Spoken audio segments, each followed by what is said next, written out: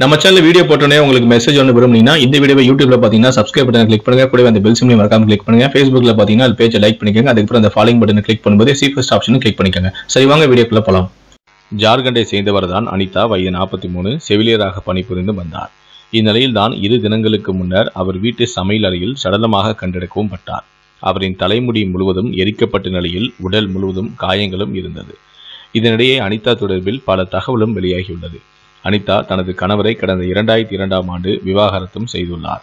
இதையடுத்து அரவிந்த் என்பவரை திருமணம் செய்யாமலேயே லிவிங் டுகெதரில் கடந்த ஆறு ஆண்டுகளாகவே அனிதா வாழ்ந்து வந்துள்ளார். அரவிந்துக்கு ஏற்கனவே திருமணமாகி மனைவி மற்றும் இரண்டு குழந்தைகள் இருப்பதும் தெரிய வந்துள்ளது இதையடுத்து போலீசாரின் சந்தேக பார்வை அரவிந்த் மீது திரும்பியுள்ளது. அவர் போலீசில் கூறுகையில் சம்பவத்தன்று இரவு எட்டு முப்பது மணிக்கு அனிதாவிடம் விடைபெற்று நான் என் வீட்டுக்கு சென்றேன். அங்கிருந்து அனிதாவுக்கு ஃபோன் செய்தபோது வெகு நேரமாகியும் அவர் எடுக்கவில்லை. இதையடுத்து இரவு பத்து மணிக்கு அனிதா தங்கியிருந்த வீட்டுக்கு வந்தபோது உள்பக்கமாக பூட்டப்பட்டும் இருந்தது. என்னிடம் இருந்த மற்றொரு சாவியை வைத்து திறந்தபோது உள்ளே சமையல் அறையில் அனிதா சடலமாக கிடந்தார் எனவும் கூறியுள்ளார். அரவிந்தை போலீசார் கைது செய்து விசாரித்து வரும் நிலையில் அனிதா சடலம் பிரேத பசுனைக்காக அனுப்பப்பட்டும் உள்ளது.